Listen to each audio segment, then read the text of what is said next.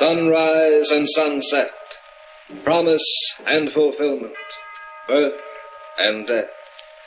The whole drama of life is written in the sands of time. We present a new series of radio programs, The Clock.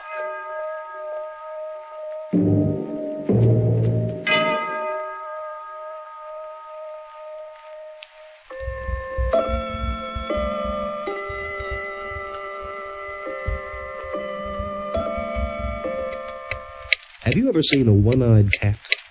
I saw one once, and its skin was the color of polished ebony. It was owned by a man named Wake, a quiet and gentle old soul who lived far out in the country. You know, people often ask me why I'm always in a hurry, why I never stop or pause. Well, Jasper Wake has never asked this question. You see, for Jasper, time stands still. Yes. Oh, is Mr. Wake at home? Do you have an appointment? I have this letter he sent me. Oh, yes, the practical nurse. Please come in. Thank you. Your name is. Uh. Leah Garth. I'm Mrs. Wilton, the housekeeper.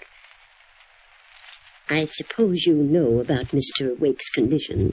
Well, not exactly. Have you had any experience with paralytic? Yes, yes, plenty.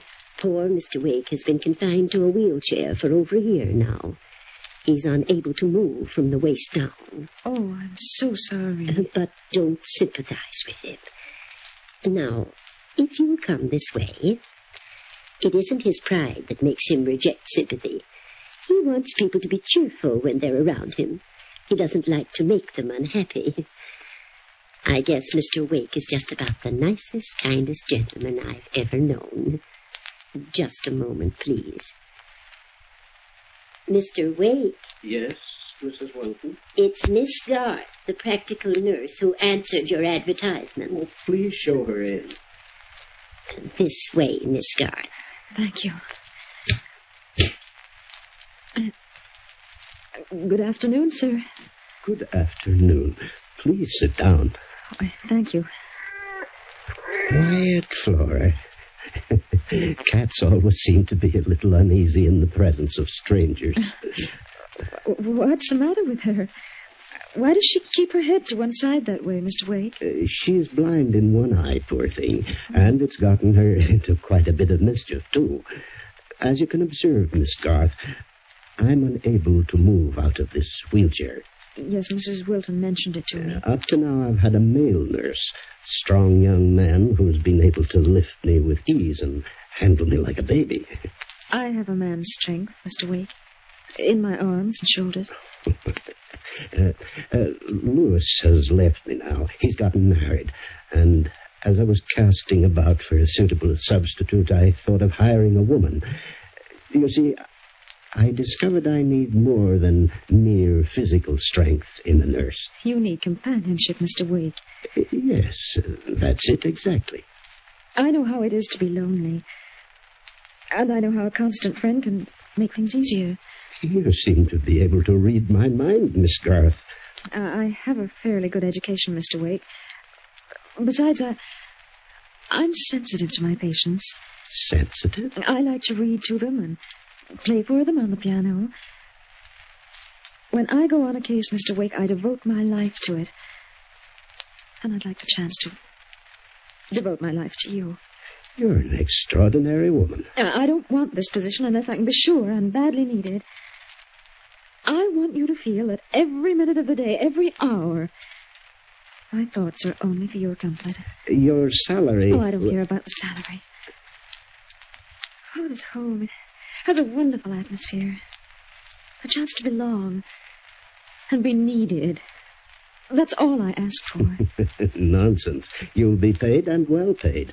I'm a rich man, if a helpless Oh, one. you won't be helpless any longer, Mr. Wake. I want so to help you. Oh, I- I'm sorry you'll think now that I'm giving you sympathy, but it, it isn't that. You'll be giving me much more than I'll be giving you, Mr. Wake. I need someone to depend on me, or I can't exist. And I need someone to depend on. I think we'll get along very well, Miss Garth. I'm sure we will.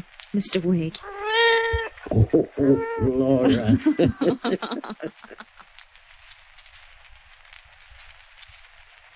Mrs. Wilton. Oh, yes, Miss Garth. Have you been hired? I have. Oh, I'm so glad. It'll be nice having another woman around the house. Up to now, it's just been Mr. Wake and me since Lewis left. Oh, I'd better fill you in on the routine. Mr. Wake dines at seven, while you and I will eat at six, and that gives us time. I dine to... at seven myself, Mrs. Wilton. Oh, oh, I see. Well, I suppose I can change my hour. There'll be no need for that. What? Mr. Wake and I will dine together. You'll eat by yourself, as usual. Oh, you you have a beautiful garden, Mr. Wake. and you seem to know a great deal about flowers, uh, Miss Garth. I- I've always loved delicate and gentle things. Yes, you're a gentle person, a very gentle person, and I'm glad you're here. Mrs. Wilton, What is it, Miss Garth? I left my shoes in the hall this morning. Did you see them?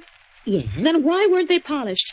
Miss Garth, I think it's about time you and I came to an understanding. I'm neither a bootblack nor a chambermaid. Since you came to this house three weeks ago, you've done nothing but order me around. And I'm getting just a little tired of Aren't it. you? Perhaps that will put you in your place. Oh, I won't stand for that. I'll tell Mr. Wake. That's what You'll what? Oh, my arm. You're breaking it. Oh, please, please. I could wrench your arm out of its socket with a twist of my hand, Mrs. Wilton, and I assure you that if you annoy me again, I'll do just that. Oh, please let me go. My shoes are still in the hall. I want them polished within the hour. Do you understand? Yes, yes, only please don't hurt me. Oh, don't hurt me. I've brought your milk, Mr. Wake.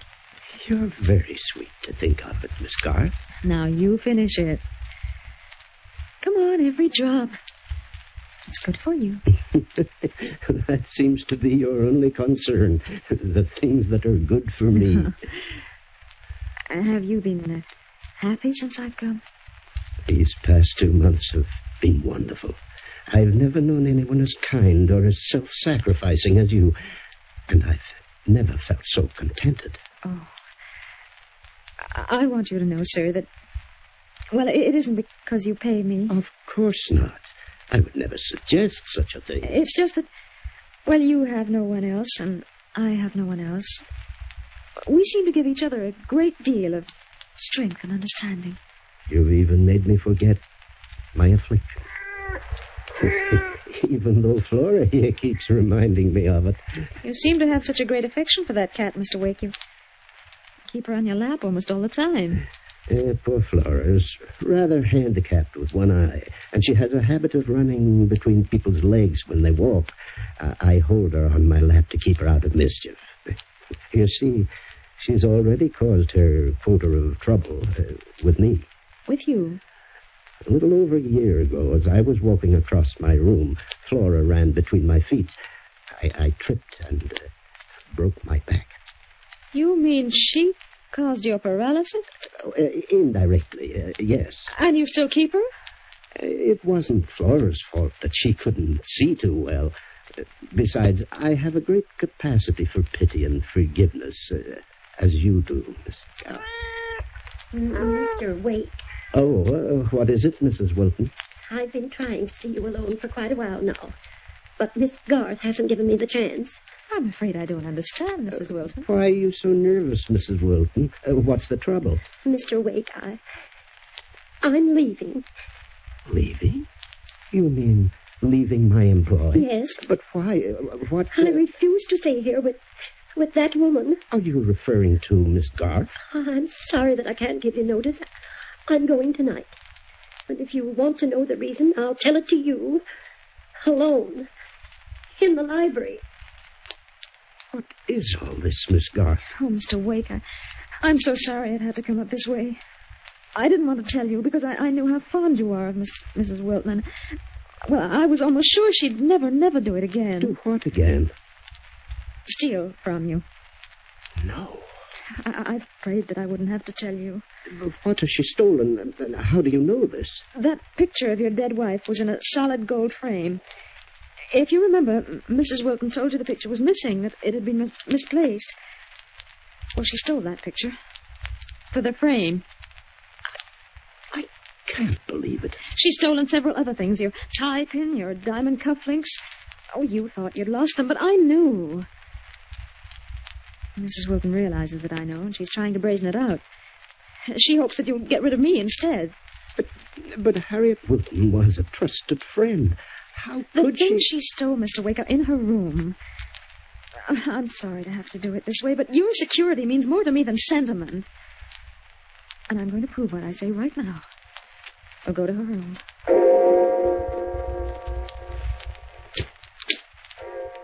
I would like to speak to you alone, Mr. Wake. There'll be no need for an explanation, Mrs. Wilton. What do you mean? I found these in your room. I don't understand. Because of the many years of faithful service you've given me in the past, I won't inform the police. But I want you to take your things and leave this house immediately. She made this up. She did this just to get rid of me. Mrs. Wilton, I want you to leave now without any further discussion.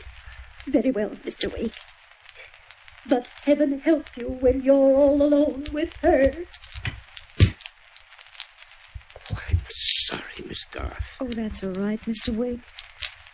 I've forgiven her, as you have, for everything. I'll hire another housekeeper in the morning. That won't be necessary. No, You won't need anyone else from now on, Mr. Wake. But me.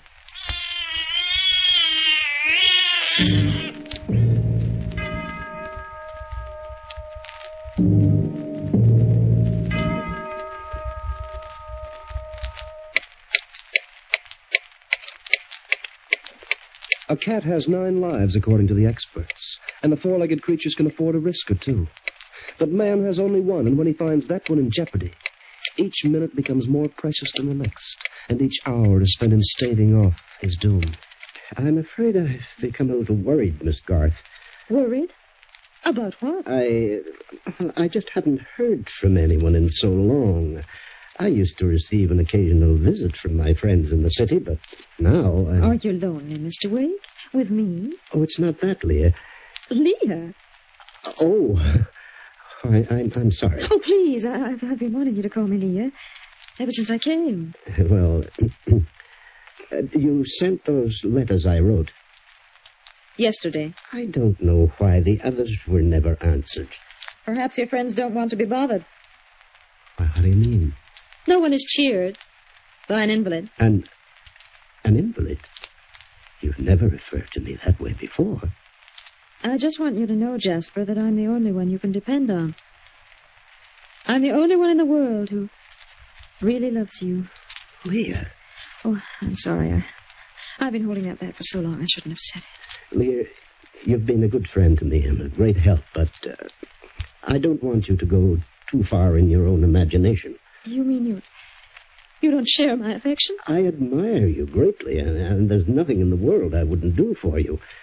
But love, well, I'm afraid I'm just a little too old for that sort of thing.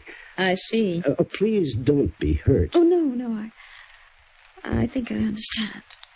Do you know, I've just had an idea. I- I think we'll have a little party this weekend. A party? I'll invite some friends, uh, old cronies. Uh, it's really been rather dull around the house in the last few weeks, and I, I feel the need of a little company. Male company, I mean. No reflections on you, my dear. But you've written to your friends and they haven't answered. Uh, lazy cusses. But I'll fool them. I'll call them personally. it's odd I didn't think of that before. May I have that phone, please? Very well. Let's see. Uh, I'll call my attorney first. An excellent fellow, John Hanley. You'll like him. Funny. Operator doesn't answer. Hello? Hello? Jasper, Yeah? The phone is out of order. Out of. Since when? It's been out of order for quite a while now. Why didn't you mention it to me? I didn't think it was necessary. Not necessary. To be without a phone all the way out here. Why, it's our only communication with the outside world. I know. What do you mean? You know. I don't want you to communicate with anyone, Jasper. I want you all to myself. Don't you think you're being a bit silly, Leah? Just you and I in this lonely house. It's all I've ever wanted, Jasper. Now, look here. Let's stop this nonsense and get that phone fixed. Come along. We'll take the car and drive into town. We'll get a phone mechanic up here in no time at all. What did I do with my car keys? I have them, Jasper. Oh, well, uh, Leah, Yes. did you say you mailed those letters I wrote yesterday? Yes. Then what are they doing in my desk? I was going to destroy them after I'd read them. I haven't had the chance to yet. But it doesn't matter. Oh, never mind the letters. If you're taking me into town right now, No, Jasper. I demand that you drive me in, Leah. You're never leaving here, Jasper. And neither am I. I'll prepare your dinner.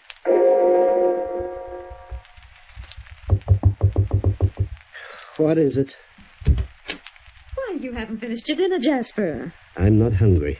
You've hardly eaten in the past few days. You know, that isn't nice. Leah, for heaven's sake, tell me what this is all about. Why are you keeping me a prisoner here? What have I done to deserve this? I love you, Jasper. I don't believe it. I was hoping one day we'd marry. You must be out of your mind. Do you think for one second that I'd marry you?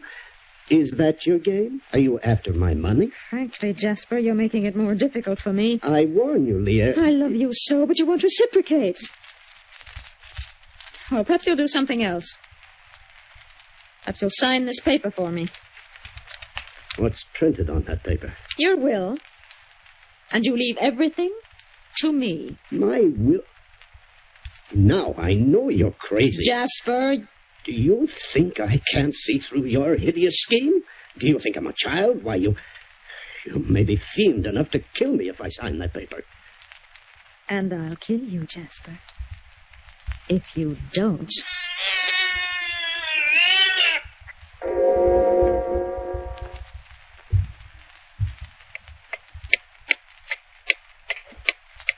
Time moves on relentlessly for Jasper Wake. Like all of us, he cannot stop it, regardless of what the next few minutes hold for him. Where are you taking me, Leah? We're going for a walk in the garden. I hate the garden. I hate everything in it. Why, Jasper? Because I love it so. You'll live and die in this house, Leah, before you get me to sign that will. Oh, you're so stubborn, Jasper. You'll see how stubborn I can be after a while. I don't intend to wait much longer. No? As a matter of fact, I'm giving you just 24 hours to make up your mind. And if I refuse, You won't refuse, Jasper. we'll see about that. Tomorrow at 6, you'll sign that will. Never. Wait a minute. Stop this chair. I intended to stop right here. So, as a last cheap trick, you've destroyed my garden, too. I haven't destroyed it, Jasper. You've been digging holes in it. Just one pitch was all I dug. Look at it closely, Jasper. It's long and it's deep. What does it remind you of? No, no. Yes, Jasper. And I dug it just for you.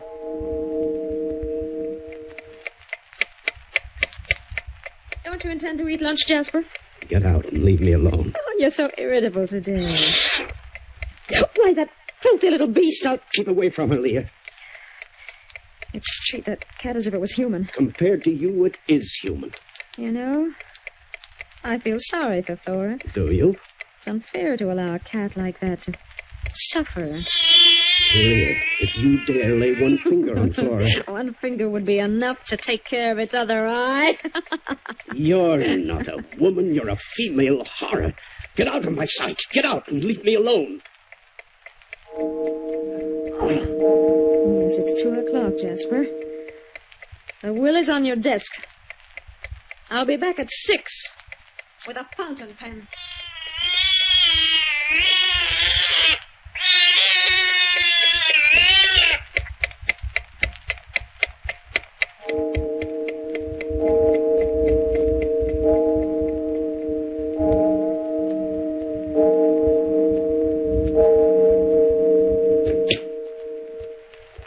Well, Jasper? You're right on time, aren't you?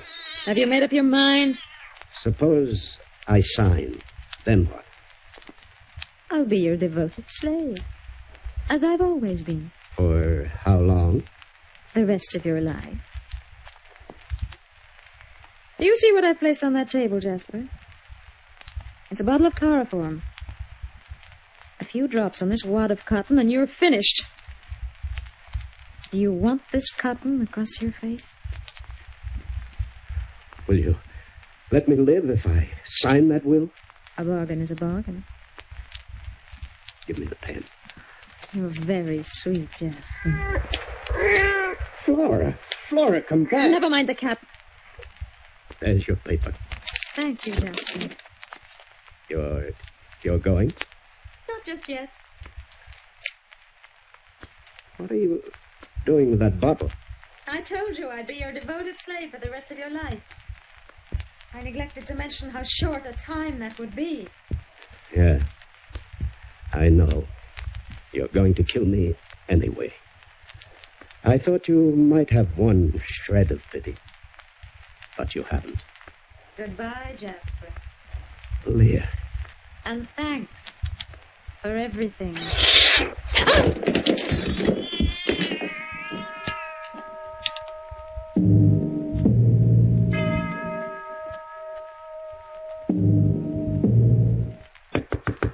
Mr. Wake! Mr. Wake, open up!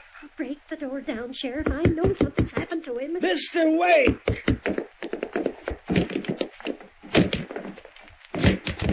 Oh, Mr. Wake! Mr. Wake! Where are you? I'm over here, Mrs. Wilton. Oh, are you okay? Mrs. Wilton here said somebody might be trying to murder you for you. Uh, I've been trying to get you on the phone, Mr. Wake, for days. Then I noticed you never came into town anymore. And, I'm quite all right, Mrs. Wilton. uh, that woman, where is she? She's wanted by the police. Yes. You were right about her, Mrs. Wilton.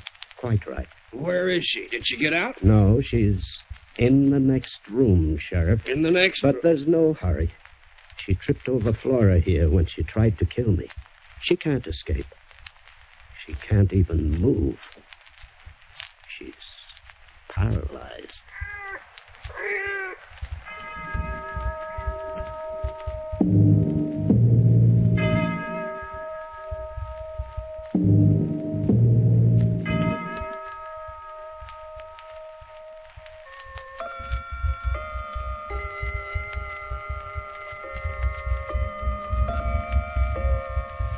And that is the story of Jasper Wake as recorded by the clock. Leah's punishment was well befitting of her crime. A coincidence? Her accident, you mean? Well, now, really. Life mirrors a great number of even stranger things, and I happen to know that lightning can strike twice in the same place. I'll prove it to you sometime. If you'll join me in my perch high above that skyscraper I like to cling to, the lofty building near Madison Square. You can see the entire city from that crow's nest, and there's nothing more dramatic in a storm. So join me there some evening, and the two of us can pass a little time. The clock will be heard again next week, same time, same station. The clock is directed by John Saul, a Grace Gibson radio production.